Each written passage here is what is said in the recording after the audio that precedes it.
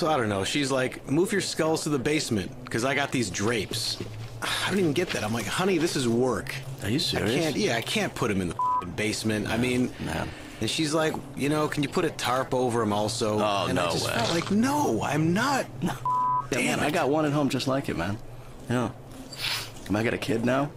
And so, Well, that's a whole other set of bullshit, I'm sure. right, so Kathy puts the co-sleeper right next to my preserved brain collection. And she wants me to move him because she thinks it's not hygienic. I don't understand how there's such a lack of appreciation for that backlight coming through the glass of the jars that the brains are in, and it just looks cool. You've seen that. Why move it? That's the point of putting it next to the window. And Right. I'm sure you've Because explained that yeah. to Kathy, but she No, obviously doesn't move the it. bed, but there's no, you know, there's, I can't even argue with it. Fucking ridiculous. So if I want to move the bed. Hey, isn't it that guy? The one with the toilet seat, right? Oh, what the? F- Jerry, no, we're cool. It's cool, man. We're Shake, cool. shake, Jerry. shake.